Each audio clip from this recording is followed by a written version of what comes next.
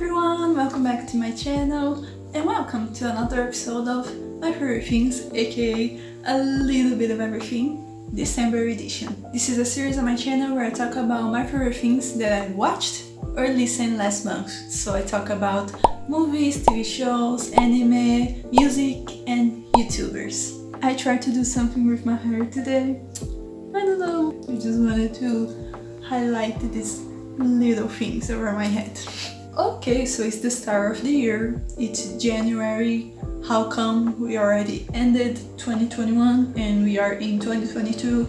I don't know, the pass of time in this couple of years felt a little blurry. So December was a month that I kinda took to watch whatever I wanted to watch. When it comes to these cases that I watch so many things, I try to pick the ones that I really think that I really enjoyed the most so I can talk to you guys about it. Since we got a lot to cover, let's start already and let's start with movies. Okay, so the first movie that we're going to be talking about it's Jawbreaker. This is a case of one of those movies that I had in my watch list for a long time and then I just picked to watch it and it was kind of a surprise I think it's safe to say that this is one of those movies that you can compare it to others that are alike. So this movie is kind of a mix of Mean Girls with Heathers. We got the darkness of Heathers and then we got the Mean Girls Mean Girls. Literally, it's about this group of mean girls. But what I really liked about this movie is that it tackles subjects like image, femininity, status, friendship and the high school system. At least in movies like this, like the way that they present the high school system, it also says a lot about how a woman is viewed. Like how the tiniest of actions can label her into something that she's not. I really like that something this dark created this social commentary and it's such a colorful way. The movie is really colorful, the 90s fashion is great in this movie, but overall I think that if you're into these movies that I mentioned, like Heathers or Mean Girls, Jawbreaker is going to be a good choice to watch. Another movie that I watched is just one of those movies that it's so silly, but like it clicks with me and it's Crybaby, the John Waters musical. It's about this two group of kids. There's the Drapes, where we have Crybaby and his gang, and we have the Squares, where there's the girl who falls in love with the bad boy. the five minutes already settles for you if that's your type of movie or not. For me, just the overreaction, the music, just the way that Crybaby is like his signature of the one tear in just one eye. It's so over the top. It's so quirky, I guess we can put it that word to this movie. Man, it's just the dialogue in this movie. I can't. There's some times they were so embarrassed by what they were saying because it's just like obviously normal people don't talk like that and you're just listening and being like oh my god you're really saying this. No wonder we're together honey. I'm an orphan too. You are? Yes.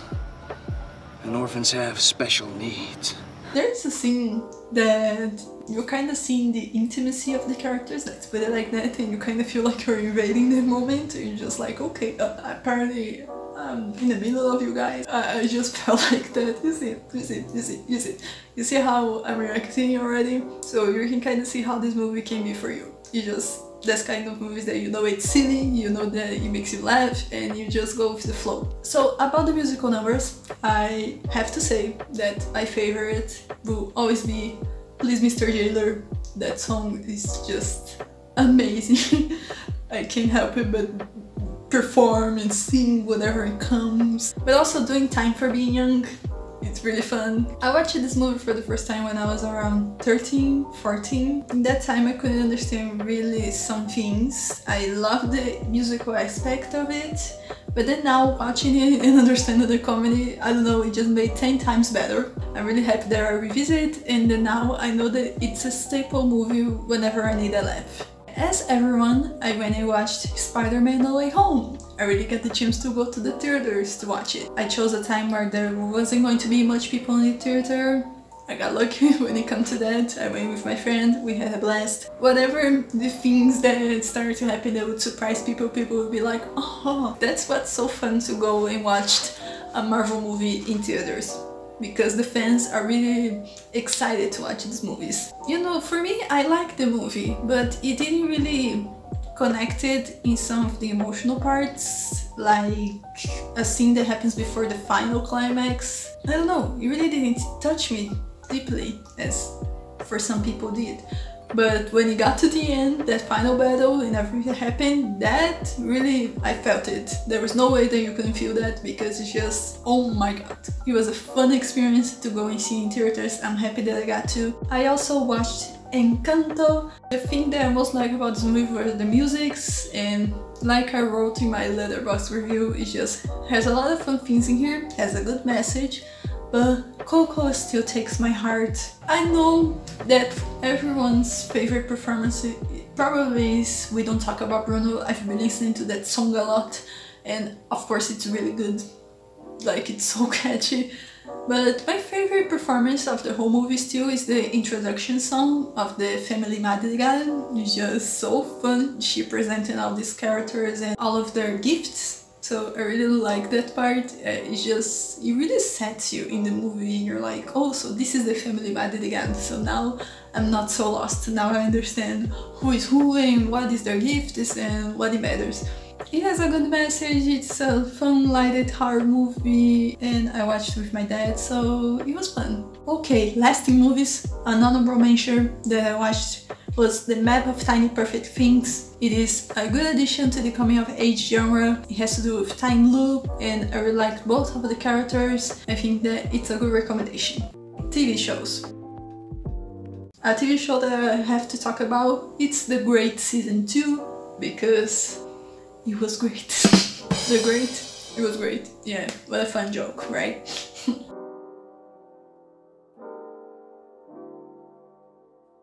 This second season improved so much on me liking the characters. As weird as it sounds, I do like Peter now. I didn't like him at all in season 1. But now, he really is just a character that you kind of see why he is the way he is. And you kind of are seeing that he's trying to break those molds of what he was in season 1, but it's really hard for him to do it. And you just kind of start liking him. It's so weird because he, he's not really exactly the best human being. In season 1, of course, we like Catherine. I really like her journey and in here, just kind of not being able to hide her feelings for Peter.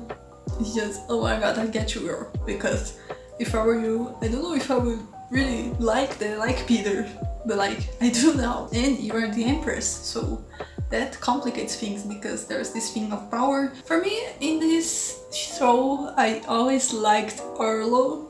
I really missed him in this season, he doesn't get much attention, but yeah, he was my favorite character. For a moment I thought that maybe Orlo and Catherine would be together, but then they introduced her love interest in season 1 and then I knew that no, they're just friends.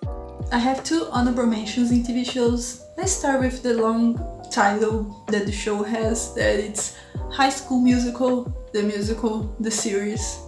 I still think they could come up with a better title for the show. Of course, I went to watch this because Olivia Rodrigo, we are kind of so into the Olivia Rodrigo era. Her album is so great. So I was like, okay, I kind of want to see her acting. So I went and watched it. And this might be an unpopular opinion, but from the three high school musicals, I didn't rewatch them in a long time, but I remember liking the third one the most. It has Can I Have This Dance in there, okay? Taking that aside, this is a very teen show. The first season of the show focused more on them during the musical of the first movie and then we getting to know the characters. And the second season, it's another musical and they kind of grown up. We see them evolved from when they were the first season. I liked how they handled some things in a mature way in second season. About the characters, I'll be honest, I still don't vibe with EJ, like what he did in this first season, which is not okay for me. But I can't help it of liking him with Gina. That couple would, is just so cute. I really like Nini's journey, or Nina. Her journey is really cool. Olivia gives this really natural aspect to her character of this dreamer person who wants to do these things and challenging herself. And Ricky is another character that kind of don't like it too. The, the boys characters in the show just, they really are teenage boys. I will defend Carlos every day. I love that character.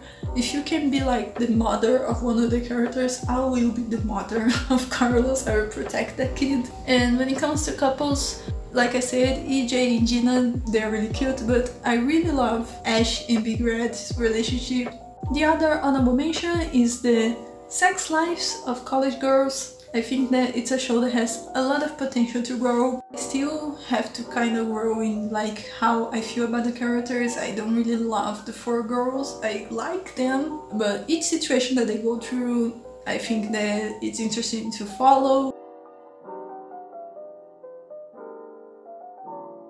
I think that if you are into the shows where focus more on like college stories, this is a good pick. Anime. So about anime, I finished two series. One of them, I'm just gonna say the name, but I'm saving for a video that is coming where I'll talk about it in more depth. It's My Senpai is Annoying, it's a slice of life about adults and their work life. It's really cute. Now the other anime that I watched was the Aquatope on White Sand. We have the story of these two girls who have dreams. One of them kinda has her dream crushed right at the beginning and the other is still in the process of getting her dream crushed. And I know it sounds bad you saying like, oh, their dreams are getting crushed, but like, it's just something that once you start watching, you understand better. They find new dreams, and it's just a really interesting side when it comes to like Aquarians and how they work and how the people who work there love their job. They love the sea life and all that comes with it. And the two protagonists are great to follow. Since this anime is 24 episodes, we have the first half and the second half. When you get an anime that is like 24 episodes long and you decide to watch it all at once, it can be really easy to get tired out, so I really recommend for you to watch in little bits, but it's up to you. Music.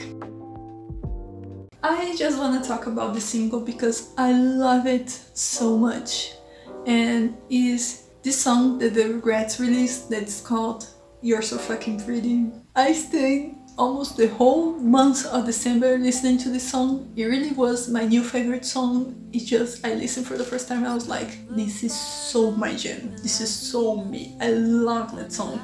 I love the lyrical content. I love the beat. I love the way that Lydia sings. And I even came up with this little dance concept that I posted on Instagram. I wanted to do it, so it's there. I already talked about the Regrettes here on the channel, but in particular, if you like more of these ballad songs, more of these slow songs, You're So Fucking Pretty, it's amazing. What I'm excited for the only thing that I had said I was excited for, it already released its first episode and it's Euphoria Season 2. We are in the Euphoria season and we are so here for it. okay, so those were my favorite things from December. I know it was a lot. I know it's a lot to take in, but I hope that you got something out of it, something got your interest, and you got excited to go and watch it, to go and check it out. That's it for now. Thank you for watching, thank you for being here, thank you for clicking on this video, and I'll see you in the next one. Bye!